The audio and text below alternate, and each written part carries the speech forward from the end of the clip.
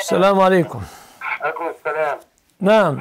شيخ أنا كلمتك من شوية بخصوص الخروف اللي اللي جاله أنت موتت الخروف يدفع ثمن الخروف. إيه المشكلة؟ أنت أعطيت الخروف إبرة خطأ؟ رحت لصاحبه مش راضي ياخد الفلوس. خلاص ماذا نصنع؟ خليهم معك على جنب. هتصدق بيهم؟ لا ما تتصدقش الآن. هو لا- هو هو يستقل المبلغ الذي أنت أعطيته. والله العظيم ما يستقل هو رفض قال لا أقبل العوض بتاتا. صح ومن المرأة تدعو عليك ليه؟ لماذا تدعو عليك؟ المرأة اتصلت هي وطلبت استشارة وقلت لها إنه جاله شلل ولن ومش هيطيب وفي بعض الأطباء قالوا لها إنه هيحاول يطيب والموضوع ده له أكثر من شهر والشلل ما طابش ورحت لها وعرضت عليها ثمنه كامل قالت ما باخدش العوض. أنا استعوضت الله. قلت لها طب خديهم وحطيهم في جامع رفضت. أنا إزاي أبرئ ذمتي أيوة خلاص حطهم أنت في جامع باسمه. ماشي.